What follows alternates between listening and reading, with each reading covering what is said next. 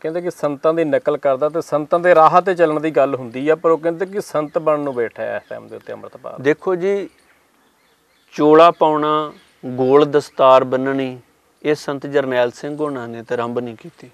ਹਾਂ। ਇਹ ਤੇ ਉਹਨਾਂ ਤੋਂ ਪਹਿਲਾਂ ਚੱਲਦੀ ਆ ਰਹੀ ਹੈ ਇਹ ਤੇ ਗੁਰੂ ਦਾ ਬਾਣਾ ਵਾ। ਇਹਨੂੰ ਤਾਂ ਕੋਈ ਵੀ ਅਸੀਂ ਤੇ ਕਹਿੰਦੇ ਵੇਖੋ ਆਪਾਂ ਦੇਖਦੇ ਹਾਂ ਫੋਰਨ ਵਿੱਚ ਅਸੀਂ ਦੇਖਦੇ ਹਾਂ ਵੀ ਕੋਈ ਵੱਡਾ ਖਿਡਾਰੀ ਫੁੱਟਬਾਲਰ ਜਾਂ ਕੋਈ ਵੀ ਖਿਡਾਰੀ ਜਾਂ ਕੋਈ ਆਪਾਂ ਆਮ ਸਮਾਜ ਵਿੱਚ ਵੇਖਦੇ ਹਾਂ ਕੋਈ ਸਿੰਗਰ ਜਾਂ ਕੋਈ ਹੀਰੋ ਜਿਹੜਾ ਵਾ ਉਹ ਜਿੱਦਾਂ ਦੀ ਆਪਣੀ ਵੇਸ਼ਭੂਸ਼ਾ ਬਣਾਉਂਦਾ ਵਾ ਉਹਦੇ ਜਿਹੜੇ ਫਾਲੋਅਰ ਹੁੰਦੇ ਉਹ ਵੀ ਆਪਣੀ ਉਦਾਂ ਦੀ ਦਿੱਖ ਬਣਾ ਲੈਂਦੇ। ਸੰਤ ਜਰਨੈਲ ਸਿੰਘ ਸਾਡਾ ਆਈਡਲ ਆ। ਸੰਤ ਜਰਨੈਲ ਸਿੰਘ ਵਰਗੇ ਜੇ ਅਸੀਂ ਪਹਿਰਾਵਾ ਜਾਂ ਉਹਨਾਂ ਵਰਗਾ ਆਪਣੇ ਆਪ ਨੂੰ ਨਹੀਂ ਬਣਾਉਣਾ ਹੋਰ ਅਸੀਂ ਕਿਹਦੇ ਵਰਗਾ ਬਣਾਉਣਾ? ਇਹ ਇਹਦੇ ਤੇ ਕੋਈ ਪਾਬੰਦੀ ਆ, ਇਹ ਕੋਈ ਗੁਰਮਤ ਦੇ ਸਿਧਾਂਤ ਦੇ ਉਲਟ ਆ ਵੀ ਜੇ ਕੋਈ ਚੋਲਾ ਪਾ ਕੇ ਗੋਲ ਦਸਤਾਰ ਬੰਦਾ ਗੱਲ ਤੀਰ ਦੀ ਆ। ਇਹ ਤੇ ਸ਼ਸਤਰ ਨੇ ਗੁਰੂ ਕੇ। ਇਹ ਤੇ ਮਹਾਰਾਜ ਜੀ ਨੇ ਸਭ ਨੂੰ ਬਖਸ਼ਿਸ਼ ਕੀਤੇ ਅੰਮ੍ਰਿਤਪਾਲ ਹੀ ਨਹੀਂ।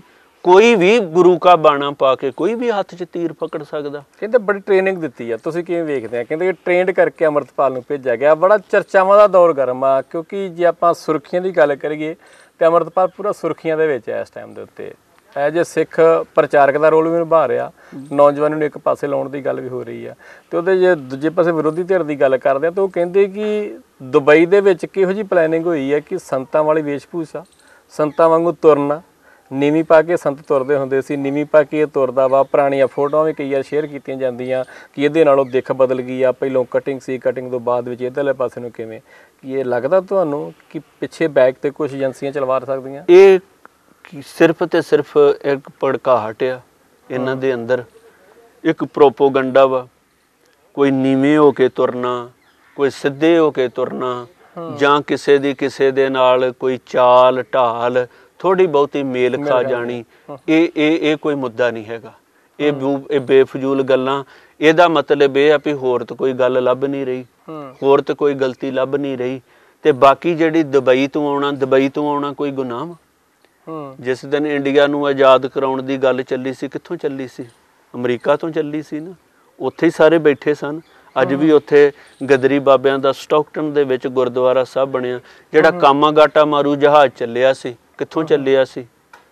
ਕਲਕੱਤੇ ਤੋਂ ਚੱਲਿਆ ਸੀ, ਬੰਬੇ ਤੋਂ ਚੱਲਿਆ ਸੀ, ਕੈਨੇਡਾ ਤੋਂ ਚੱਲਿਆ ਸੀ, ਉੱਥੇ ਵੀ ਸਾਡੇ ਸਿੱਖ ਹੀ ਵਸਦੇ ਨੇ, ਉਹ ਉਹ ਉੱਥੇ ਦਰਦ ਲੈ ਕੇ ਬੈਠੇ ਨੇ, ਉਹ ਆਪਣੀ ਇਸ ਧਰਤੀ ਦੇ ਨਾਲ ਜੁੜੇ ਹੋਏ ਨੇ, ਹਰਮੰਦਰ ਸਾਹਿਬ, ਸ੍ਰੀ ਅਕਾਲ ਤਖਤ ਸਾਹਿਬ ਦੇ ਨਾਲ ਉਹਨਾਂ ਦੀ ਰੂਹ ਜਿਹੜੀ ਆ, ਉਹ ਜੁੜੀ ਆ, ਭਾਵੇਂ ਉਹ ਵਿਦੇਸ਼ਾਂ ਵਿੱਚ ਰਹਿ ਰਹੇ ਆ ਅੱਜ ਤੁਸੀਂ ਜਦੋਂ ਦੇਖਦੇ ਹੋ ਪੰਜਾਬ 'ਚ ਕਿਤੇ ਵੀ ਜਦੋਂ ਜ਼ਰੂਰਤ ਪੈਂਦੀ ਆ, ਕੋਈ ਆਫਤ ਆਉਂਦੀ ਹੈ ਕਿਸੇ ਵੀ ਤਰ੍ਹਾਂ, ਜੋ ਪਿੱਛੇ ਆਪਾਂ ਦੇਖਿਆ, ਜਿੰਨਾ ਖੂਨ ਖਰਾਬਾ ਹੋਇਆ, ਜਿੰਨੇ ਸਾਡੇ ਪਰਿਵਾਰਾਂ ਦੇ ਹਾਲਾਤ ਹੋਏ, ਅੱਜ ਵੀ ਵਿਦੇਸ਼ਾਂ ਦੇ ਸਿੱਖ ਆਪਣੀ ਕਿਰਤ ਕਮਾਈ ਦੇ ਵਿੱਚੋਂ ਉਹਨਾਂ ਦੀ ਮਦਦ ਕਰਦੇ ਨੇ, ਉਹਨਾਂ ਨੂੰ ਸੰਭਾਲਦੇ ਨੇ, ਬਹੁਤ ਕੁਝ ਹੈ। ਇਹ ਸਿਰਫ ਇੱਕ ਪ੍ਰੋਪੋਗੰਡਾ ਹੈ। ਇਹਦੇ ਤੋਂ ਵੱਧ ਕੇ ਕੁਝ ਵੀ ਨਹੀਂ। ਕਿਹੜੀ ਟ੍ਰੇਨਿੰਗ ਵਾਲੀ ਗੱਲ? ਰੋਟੀ ਖਾਣ ਦੀ ਵੀ ਕਦੀ ਕਿਸੇ ਨੇ ਟ੍ਰੇਨਿੰਗ ਲਈ ਹੈ। ਪਾਣੀ ਪੀਣ ਦੀ ਵੀ ਕਿਸੇ ਨੇ ਟ੍ਰੇਨਿੰਗ ਲਈ ਆ।